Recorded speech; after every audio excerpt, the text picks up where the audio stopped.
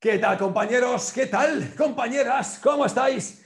Bienvenidos, bienvenidas a vuestra casa Planeta Deporte. Soy Jordi Gil y ya sabéis que estoy encantadísimo de estar aquí todos los días compartiendo estos momentos, compartiendo estas charlas. Y hoy, os lo digo de manera muy sincera, me siento extraordinariamente feliz. Y quizás os preguntáis, eh, pero ¿qué ha pasado? ¿Qué, ¿Qué, ha pasado para que te sientas tan bien, para esa felicidad? Pues bueno, pues estamos a 24 horas, a 24 horas, es decir, falta un día para que se celebre en Los Ángeles el esperadísimo retorno de Mike Tyson a los cuadriláteros. Se va a enfrentar en un combate de exhibición, eso es lo que dicen, ¿eh? de exhibición de ocho rounds ante Roy Jones Jr. Ya hemos hablado en otros vídeos ya hace algunas semanas cuando se confirmó este combate de uno y de otro. Los podéis buscar en el canal y veréis mis vídeos.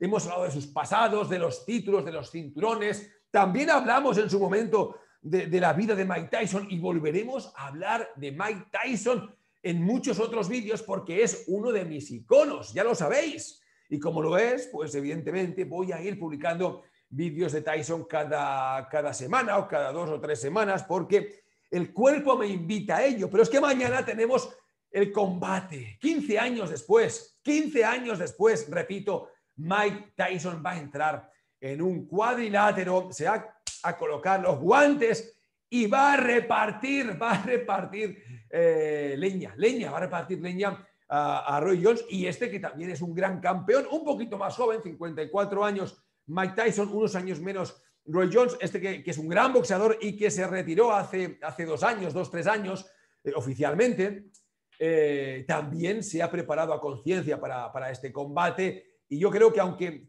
eh, repitan una y otra y otra vez que es un combate de exhibición, aquellas personas que le quieren quitar hierro al asunto, va a ser maravilloso. Vamos a ver a dos leyendas enfrentándose de nuevo en el cuadrilátero. Eh, ya tenemos las bolsas. Mike Tyson va a cobrar 10 millones de dólares, eh, al menos de lo que sería la entrada y la televisión, eh, y Roy Jones un millón de, de dólares. Se habla de que estas cantidades en realidad son superiores porque hay otros conceptos que no se han incluido, pero Mike Tyson ya dijo en su día y lo ha vuelto a confirmar que esos 10 millones de dólares van destinados a una serie de ONGs, así que bonito gesto el de Mike Tyson que afortunadamente para él le funcionan muy bien, muy bien sus negocios y de momento no tiene necesidad de hacer caja con el combate o al menos con, con la bolsa oficial. Si después el combate le genera ingresos de manera indirecta, pues ese beneficio sí que se lo va a quedar. Lo mismo sucede con Roy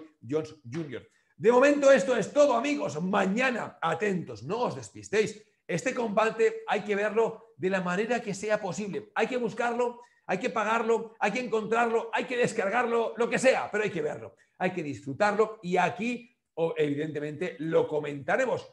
Dejadme que os diga una cosita más que me llamó la atención. El, el, el referee, el árbitro, el juez que estará en el cuadrilátero con Tyson y Jones, tiene muchas misiones, si las de siempre, las conocidas en el boxeo, pero además en este combate de exhibición tiene que evitar el caos, tiene que evitar que que se produzca una paliza, un castigo muy duro para cualquiera de los dos púgiles, dada la, avanzada edad de ambos para, el boxeo.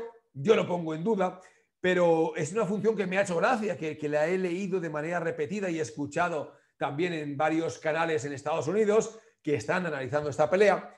Y, bueno, me ha hecho mucha gracia la, insistencia en subrayar que el árbitro tiene que controlar la ira de estos dos grandes púgiles. Lo veremos.